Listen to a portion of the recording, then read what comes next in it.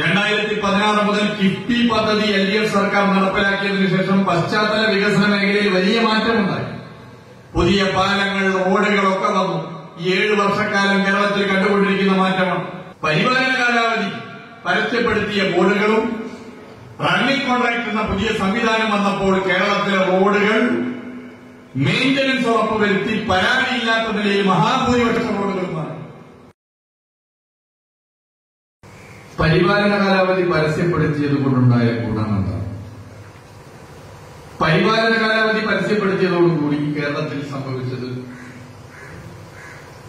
നിർമ്മാണം ശരിയായ അർത്ഥത്തിൽ നടത്തിയിട്ടില്ലെങ്കിൽ പരിപാലന കാലാവധിയിൽപ്പെടുന്ന റോഡിന് കേടുപാടുകൾ സംഭവിച്ചാൽ ബന്ധപ്പെട്ട കരാറുകാർ തന്നെ അതിന്റെ ചെലവ് വഹിക്കണം. ഇപ്പോ ഒരു റോഡ് രണ്ടായിരത്തി ഇരുപത്തിരണ്ട് ഡിസംബർ മാസം പ്രവൃത്തി പൂർത്തീകരിച്ചു എന്ന് നിങ്ങൾ കരുതുക. സാധാരണ ചിപ്പിക്കാരുടെ കൂടെ രണ്ട് വർഷമാണ് അതിന്റെ പരിപാലന കാലം. രണ്ടായിരത്തി ഇരുപത്തിനാല് ഡിസംബർ വരെ ആ റോഡിന് എന്തെങ്കിലും കേടുപാടുകൾ സംഭവിക്കുകയാണെങ്കിൽ ബന്ധപ്പെട്ട കരാറുകാരൻ അതിന്റെ പൂർണ ഉത്തരവാദിത്തം ഏറ്റെടുക്കണം. ബന്ധപ്പെട്ട കരാറുകാരനെ കൊണ്ട് ആ റോഡിന്റെ ഉത്തരവാദിത്തം ഓർമ്മപ്പെടുത്താൻ ചുമതലയുള്ള ഉദ്യോഗസ്ഥരുണ്ട്. ദൗർഭാഗ്യവശാൽ നമ്മുടെ സംസ്ഥാനത്ത് പല റോഡുകളിലും അത്തരം ഒരു പരിശോധന നടന്നില്ല. ഇതിന്റെ ഭാഗമായി ക്വാളിറ്റി കുറഞ്ഞ ഗുണമേന്മ കുറഞ്ഞ നിലയിലുള്ള നിർമ്മാണം ചിലയിടങ്ങളിൽ നടന്നു. റോഡുകൾ നിർമ്മാണം കഴിഞ്ഞ ഉടനെ പെട്ടെന്ന് പൊട്ടിപ്പൊളിയുന്ന സംഭവങ്ങളുണ്ടായി അത് സർക്കാർ ചെലവിൽ പിന്നെ പരിപാലിക്കുന്ന സ്ഥിതിയാണ്. പരിപാലന കാലാവധി ഉൾപ്പെടെയുള്ള ഘട്ടങ്ങളിൽ പരിപാലിക്കുന്ന സ്ഥിതിയിലേക്ക് എത്തുന്നുവെന്നും ഒരു തെറ്റായ പ്രവണത പൊതുവെ കണ്ടു. ഇത് പരിഹരിക്കാനാണ് സുതാര്യത ഉറപ്പുവരുത്തി പരിപാലന കാലാവധി ഇപ്പോൾ രണ്ടായിരത്തി ഇരുപത്തിരണ്ട് ഡിസംബറിൽ പൂർത്തീകരിച്ച റോഡാണെങ്കിൽ പച്ച ബോർഡുകൾ ആ റോഡിന്റെ രണ്ടറ്റത്തും വെച്ച്. രണ്ടായിരത്തി ഇരുപത്തിനാല് ഡിസംബർ വരെ റോഡിന്റെ പരിപാലന കാലാവധിയുണ്ട് ഇത്ര കിലോമീറ്ററാണ് റോഡ്. കരാറുകാരന്റെ പേര് ഇന്നതാണ് ഫോൺ നമ്പർ ഇന്നതാണ്. ചുമതലയുള്ള ഉദ്യോഗസ്ഥന്റെ ഫോൺ നമ്പർ. ഉദ്യോഗസ്ഥന്റെ പേര് വെക്കുന്നില്ല കാരണം ഉദ്യോഗസ്ഥർ മാറും. ചുമതലയുള്ള ഉദ്യോഗസ്ഥന്റെ ഡിപ്പാർട്ട്മെന്റ് ഫോൺ നമ്പർ. ഇതാ ബോർഡിലുണ്ട് ഇവിടെ നേരത്തെ ചൂണ്ടിക്കാട്ടിയതുപോലെ ജനങ്ങൾ കാഴ്ചക്കാരല്ല കാവൽക്കാരാണ് എന്ന് എഴുതി വെച്ച പച്ച ബോർഡുകൾ നിങ്ങൾ കണ്ടിട്ടുണ്ടാവും. അതിന്റെ ഒരു ഗുണം എന്താണെന്ന് വെച്ചാൽ എവിടെയെങ്കിലും ഒരു റോഡിൽ ഒരു കുഴപ്പമുണ്ടായാൽ ഒരു കുഴി ഉണ്ടായാൽ ഇത് പരിപാലന കാലാവധിയിലാണോ ഇല്ലയോ എന്ന് ജനങ്ങൾക്ക് ബോധ്യപ്പെടും. നേരത്തെ അത് ബോധ്യപ്പെട്ടിരുന്നില്ല. അപ്പൊ സ്വാഭാവികമായിട്ടും ജനങ്ങൾക്ക് അതിൽ ശക്തമായ നിലപാട് സ്വീകരിക്കാം ജനപ്രതിനിധികൾക്ക് അതിൽ ശക്തമായ സമീപനം സ്വീകരിക്കാം. ഒരാൾ ഇതിന് ഉത്തരവാദിയാണ്. ആ ഉത്തരവാദിത്തമുള്ളവർ അത് ശ്രദ്ധിക്കേണ്ടി വരും ഇതാണ് കേരളത്തിൽ ഈ മേഖലയിൽ വന്നുകൊണ്ടിരിക്കുന്ന മാറ്റം. ഞാൻ നേരത്തെ പറഞ്ഞ രണ്ടായിരത്തി ഇരുപത്തിരണ്ടിൽ ഡിസംബറിൽ പ്രവൃത്തി പൂർത്തീകരിച്ച റോഡ് രണ്ടായിരത്തി ഇരുപത്തിനാല് ഡിസംബറിൽ പരിപാലന കാലാവധി കഴിഞ്ഞു. രണ്ടായിരത്തി ഇരുപത്തിയഞ്ച് ജനുവരി മുതൽ ആ റോഡ് ഇനി ആര് നോക്കും? രണ്ടായിരത്തി ഇരുപത്തിയഞ്ച് ജനുവരിയിൽ അതിൽ കുഴി വരുന്നു. രണ്ടായിരത്തി ഇരുപത്തിയഞ്ച് മാർച്ചിൽ പ്രശ്നം വരുന്നു. മെയ്യിൽ പ്രശ്നം വരുന്നു. ജൂലൈയിൽ പ്രശ്നം വരുന്നു. അത് പിന്നെ നമ്മൾ ചർച്ച ചെയ്യുന്നു. ചർച്ച ചെയ്ത് ചർച്ച ചെയ്ത് എസ്റ്റിമേറ്റ് എടുക്കുന്നു. ടെൻഡർ വിളിക്കുന്നു. അപ്പത്തിനും രണ്ടായിരത്തി ഇരുപത്തി ആറാവും ഒരു കൊല്ലം കൊണ്ട് പോകും. ഒരു കൊല്ലം ജനങ്ങളാകെ പ്രയാസം അനുഭവിക്കും. ഇതിനൊരു പരിഹാരം കാണണ്ടേ? എന്തുകൊണ്ട് നേരത്തെ തന്നെ പരിപാലന കാലാവധി കഴിയുന്ന ഒരു റോഡിന്റെ ഉത്തരവാദിത്വം നിശ്ചയിക്കുന്ന ഒരു കരാർ സംവിധാനം കൊണ്ടുവന്നുകൂടാ? ഇത് ഞങ്ങൾ ചർച്ച ചെയ്തു. ആ ചർച്ച ചെയ്തപ്പോഴാണ് ഇന്ത്യ ഇതുവരെ കൊണ്ടുവരാത്ത ചില വിദേശ രാജ്യങ്ങളിലുള്ള ഒരു സംവിധാനം എന്തുകൊണ്ട് കേരളത്തിൽ കൊണ്ടുവന്നുകൂടാ എന്ന ആലോചനയിലേക്ക് പോയത് അതായത് പരിപാലന കാലാവധി കഴിയുന്ന മുറക്ക റോഡിന്റെ കരാർ ഒരു വർഷത്തേക്ക് നേരത്തെ തന്നെ നിശ്ചയിക്കും.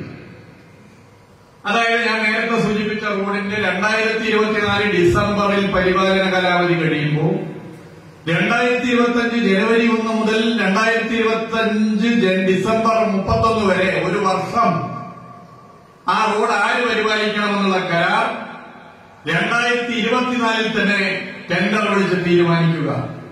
ഇന്ത്യയിൽ ആദ്യമായിട്ടുള്ള ഒരു സംവിധാനമാണ്. ആ സംവിധാനത്തിനെയാണ് റണ്ണിംഗ് കോൺട്രാക്ട് എന്ന് വിശേഷിപ്പിക്കുന്നത്. അങ്ങനെ കണക്ക് നോക്കിയപ്പോൾ ഇരുപതിനായിരത്തി ഇരുപത്തി ആറ് കിലോമീറ്റർ റോഡുകൾ ഇന്ന് റണ്ണിംഗ് കോൺട്രാക്റ്റിൽ പെടുന്നു മനസ്സിലാക്കി.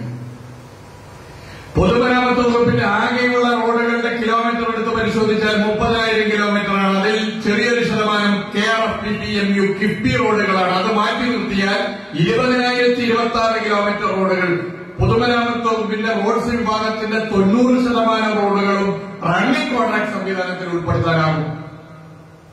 ഇത് കേരളത്തിൽ വലിയൊരളവോളം ഈ പ്രശ്നം പരിഹരിക്കാൻ കാരണം അതിന് പണം വേണം. റണ്ണിംഗ് കോൺട്രാക്ടിന് പ്രത്യേക ഫണ്ട് വേണം. ബഹുമാനപ്പെട്ട മുഖ്യമന്ത്രി ഉറപ്പ് നൽകി ധനകാര്യമന്ത്രിയുമായി ചർച്ച ചെയ്തു. വലിയ വിലയിൽ പ്രശ്നങ്ങൾക്ക് പരിഹാരം കാണാൻ സാധിക്കുന്ന പരിപാലനം എന്നുള്ള മെയിന്റനൻസ് എന്നുള്ള പ്രധാനപ്പെട്ട പ്രശ്നത്തിന് പരിഹാരം കാണാനുള്ള ഒരു പുതിയ സംവിധാനമാണ് ശാസ്ത്രീയമാണ് പലരുമായി ചർച്ച ചെയ്ത് നിശ്ചയിച്ചതാണ്. എന്ന കൃത്യമായ ധാരണ സർക്കാരിനുണ്ടായി അതിന്റെ ഭാഗമായി നാനൂറ്റി എൺപത്തി ആറ് കോടി പതിനൊന്ന് ലക്ഷം രൂപ സർക്കാർ ഈ സംവിധാനത്തിന് ചെലവഴിക്കാൻ തീരുമാനിച്ചു. ഇന്ത്യയിൽ ആദ്യമായിട്ടാണ് ഒരു സംസ്ഥാന സർക്കാർ അതിന് ചെലവഴിക്കുന്നത് അങ്ങനെ റോഡുകളുടെ പരിപാലനമാർക്കെന്ന് പരിപാലന കാലാവധി കഴിയുന്നതിന് മുമ്പ് തന്നെ കരാർ ടെൻഡർ വിളിച്ച് നടപ്പിലാക്കി. ഒരു വർഷത്തേക്ക് റോഡുകൾ പരിപാലിക്കാനുള്ള ചുമതല വെച്ചു ആ റോഡുകളുടെ രണ്ടറ്റത്തും ബോർഡ് വെക്കാൻ തീരുമാനിച്ചു. ആ ബോർഡ് പച്ചയായാൽ കുഴപ്പമാണ് കാരണം അത് പരിപാലന കാലാവധി പരസ്യപ്പെടുത്തിയ ബോർഡുകൾ പച്ചയാണ്. ഒരു മാറ്റം വേണം. അതുകൊണ്ട് നീല ബോർഡുകൾ പരിപാലന